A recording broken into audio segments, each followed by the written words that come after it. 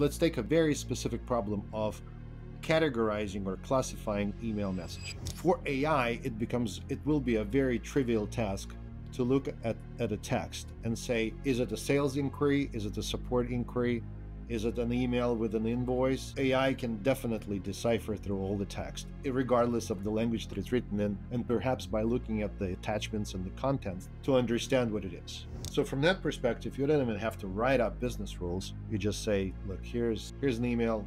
Tell me what's in it and then depending on what's in it draft a response or if you believe that it's something that needs to be reviewed or someone needs to be alerted tell me is it going to be an alert to finance department engineering operations customer support so it can be channeled to the right queue and then create a summary of the tasks that people in that department need to be aware of associated with that specific email. So we're kind of just blowing this problem up, but it is all valid, right? If you start implementing this thing over and over and over again, you could actually free up a lot of time for a lot of people.